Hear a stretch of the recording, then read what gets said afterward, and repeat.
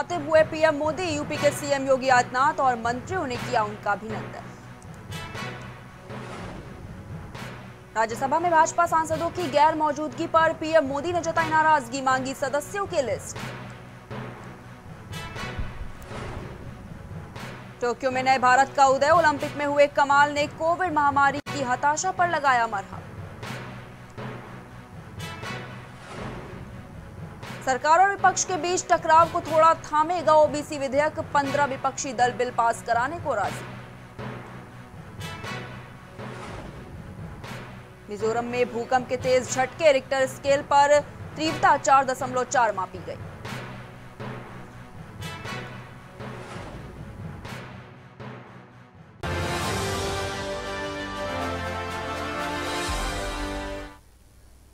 नमस्कार, स्वागत है आपका प्राइम टीवी में और मैं हूँ आपके साथ प्रिया तिवारी। शुरुआत करते हैं खबरों की।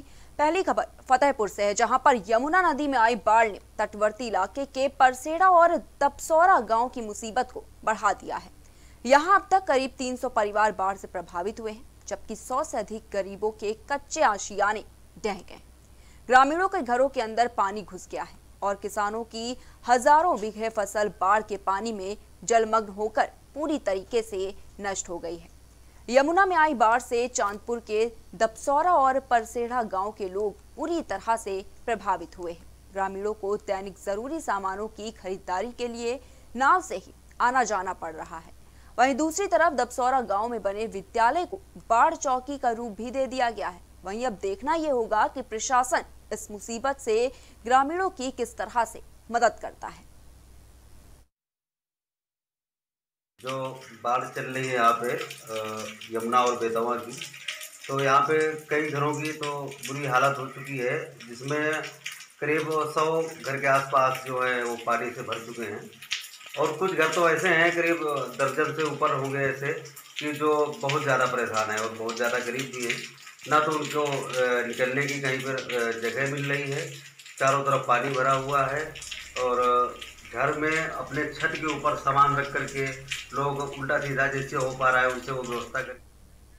वहीं शाहजहांपुर के चौक थाना क्षेत्र में पुलिस ने सट्टा कारोबारियों के खिलाफ सख्त कार्रवाई की है। पुलिस ने घर में जुआ खेल रहे चौदह सट्टा कारोबारियों को गिरफ़्तार किया है। साथ ही पुलिस ने आरोपियों के पास से चौसठ हज़ार रुपए, चौतीस ताश की गड्डी और नौ गाड़ियों को भी बरामद किया है। फ़िलहाल पुलिस आरोपियों के खिलाफ कार्रवाई में लगातार जुटी हुई है। गैर कानून गतिविधियों के संदर्भ में चल रही कठोर कार्रवाई के संदर्भ में कोतवाली पुलिस ने एक महत्वपूर्ण सफलता पाई है। इन्होंने चौदह अभियुक्तों की गिरफ्तारी की है। जिनके पास से चौंतीस गड्डियाँ ताश की बरामद हुई हैं और तिरसठ हज़ार छः सौ पचास रुपये बरामद हुए हैं। नौ बाइक से बरामद हुई हैं और इनके पास से अन्य बहुत से सामान बरामद हुए महेंद्र राठौर के घर में एक जुआ खेला जा रहा था, जिसका संज्ञान लिया है जानकारी होने पर और पुलिस ने इसकी घेराबंदी की और इसकी तैयारी करके इनकी गिरफ़्तार वहीं शाहजहांपुर में पुलिस लगातार अवैध शराब के खिलाफ अभियान चला रही है और इसी कड़ी में पुलिस को एक बड़ी सफलता हाथ लगी है, जहाँ पुलिस ने 24 घंटे के अंदर करीब 80 लोगों पर केस दर्ज किया और पचासी कारोबारियों को भी गिरफ़्तार कर लिया है। पुलिस ने आरोपियों के पास से 845 लीटर अवैध शराब भी बरामद की है। साथ ही शराब बनाने के कई उपकरण भी पुलिस ने बरामद किए हैं। वहीं पुलिस ने तेईस हज़ार लीटर लहन को भी नष्ट किया है। कि जनपद पुलिस द्वारा अवैध शराब की बिक्री का निष्कर्षण करने वाले लोगों के विरुद्ध अभियान जारी है। कल की कार्रवाई में इस अभियान में 79 अभियोगों में 85 अभियुक्तों को गिरफ़्तार किया गया है और उनके कब्जे से आठ सौ पैंतालीस लीटर शराब 15 भट्टियाँ नष्ट की गई हैं तथा तेईस हज़ार लीटर लहन नष्ट किया गया है। टोटल जनपद की कार्रवाई में पचासी अभियोगों में 94 अभियुक्तों वहीं सोनभद्र में शासन के निर्देशानुसार कंपोजिट विद्यालय बीजपुर में मोहल्ला क्लास प्रारंभ की गई है, जिसमें स्कूल के अध्यापकों के साथ साथ प्रेरक साथी भी शामिल हुए हैं। अध्यापकों ने अलग अलग मोहल्लों में जाकर बच्चों को इकट्ठा किया और उन्हें पढ़ाया भी।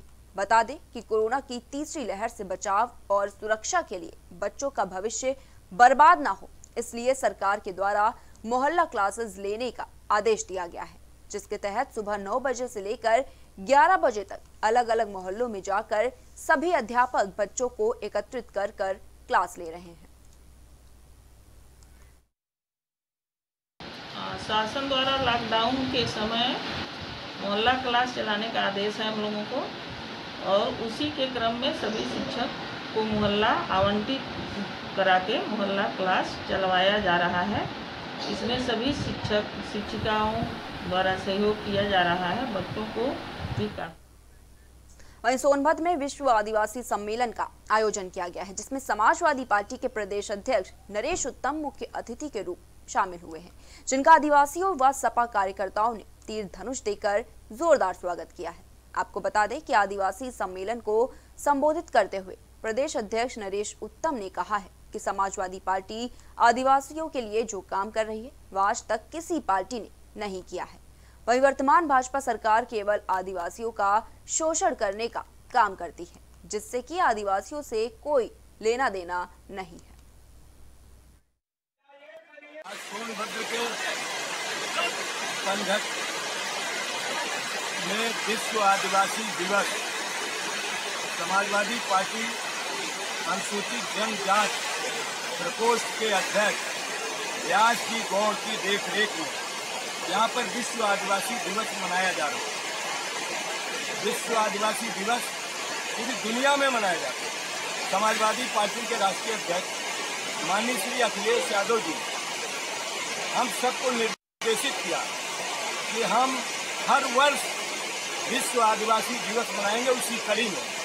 आज हम सोनभद्र ज़िले में ये विश्व आदिवासी दिवस मना रहे हैं। इसमें हज़ारों माताएँ, बहनें और हज़ारों आदिवासी भाई लोग यहाँ पर आए हैं। आदिवासी समाज में लगातार अपने जीवन भर संघर्ष करने वाले नेताओं के ही विचारों को यहाँ पर रखा जा, जा रहा है। और समाजवादी विचारधारा के भी जनप्रतिनिधियों के विचार खबर अमेठी से है जहाँ पर नंदघर में अवार्ड रिवॉर्ड कार्यक्रम का आयोजन किया गया है। इस कार्यक्रम का आयोजन वेदांता की सहयोगी संस्था Humana people to people India के द्वारा किया गया है। इस दौरान आंगनवाड़ी कार्यकर्तियों को अच्छे कार्य के लिए प्रशस्ति पत्र देकर सम्मानित भी किया गया है। आपको बता दें कि कार्यक्रम में मुख्य अतिथि जिला पंचायत सदस्य प्रतिनिधि सुनीता सिंह मौजूद रही और साथ ही साथ संस्था के तमाम कार्यकर्ता भी मौके पर मौजूद रहे।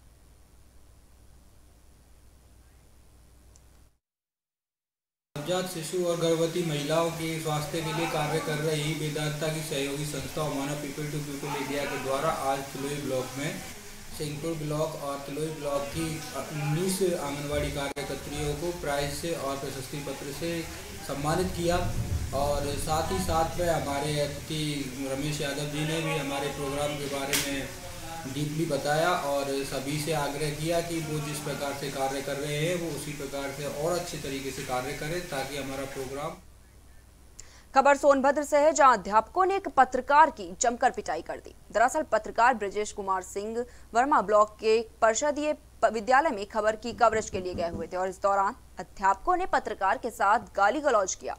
साथ ही पत्रकार के साथ जमकर मारपीट भी की।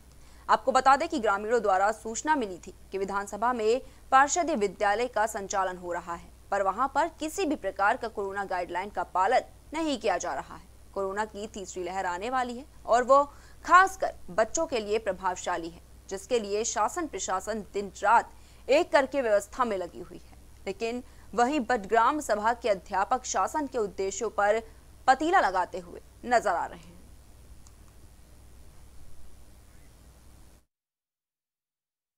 ऐसा है सर कि मुझे वहाँ के जो ग्रामीण थे, यानी ग्राम सभा पट के कुछ ग्रामीणों के द्वारा ये बताया गया कि यहाँ कुछ बच्चों को, बड़ी संख्या में बच्चों को पढ़ाई करवाया जा रहा है, यानी बुला करके पढ़ाया जा रहा है और जिसमें सोशल डिस्टेंसिंग का कोई पालन नहीं किया गया है, न ही बच्चे मास्क लगाए हैं।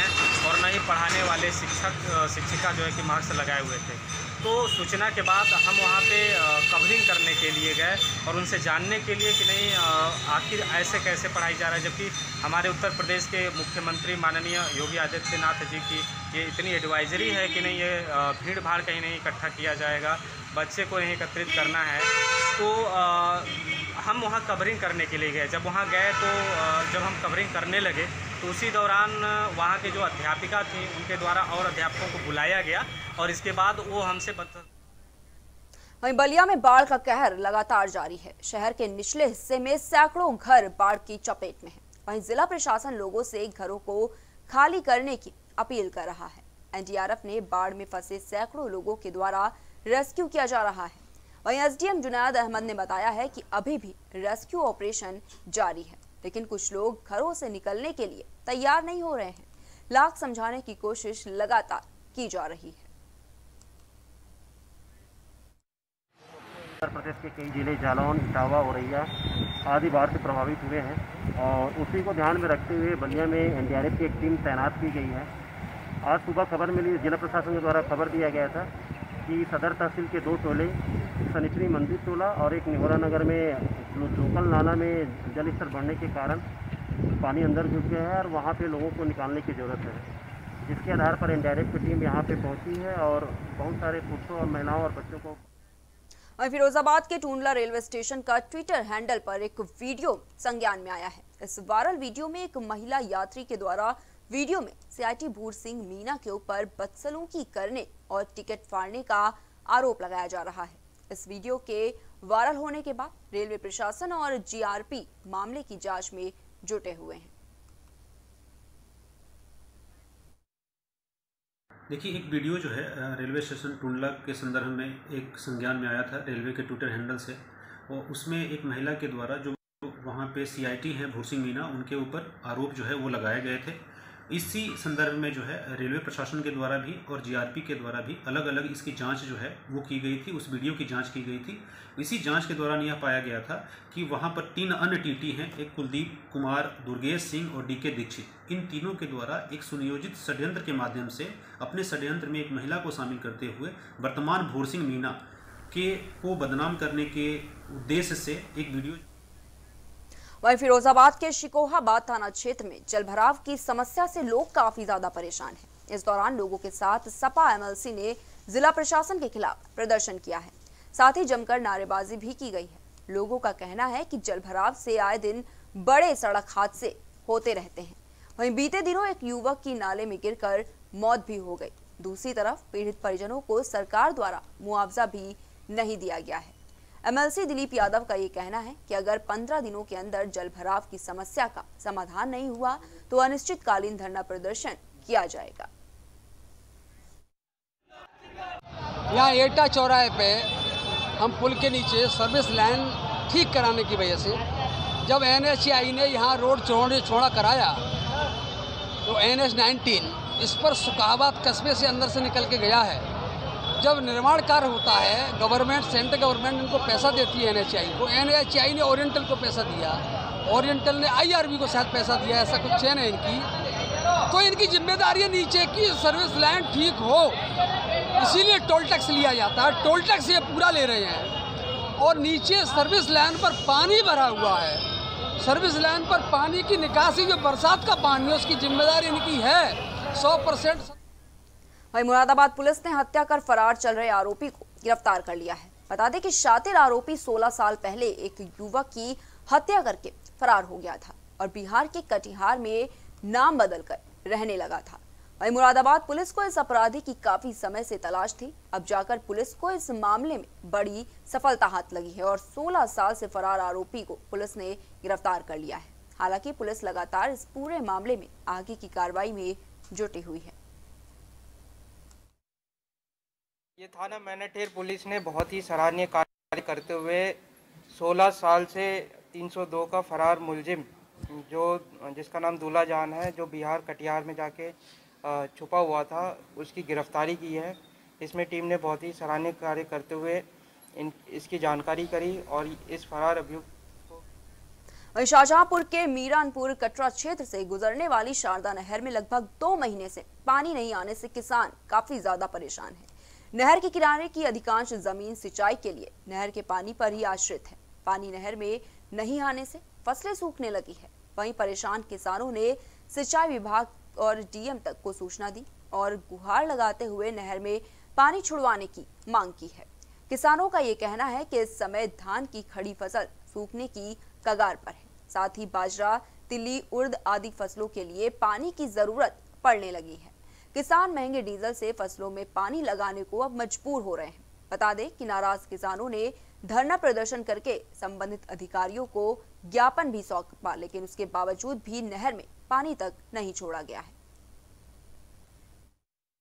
किसान लोग इसलिए यहाँ इकट्ठे हुए हैं, यहाँ जैसे शारदा नहर में नदी का पानी कम कैनाल से जा रहा है तो वो कम से कम लगभग तीन महीने से बंद पड़ी हुई है।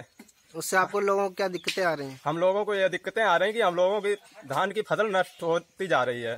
हम कर्मचारी कोई नहीं आता है तारे पड़े हुए हैं और हम लोगों ने हर अधिकारी से शिकायत कर दी है विधायक जी से भी बात की है।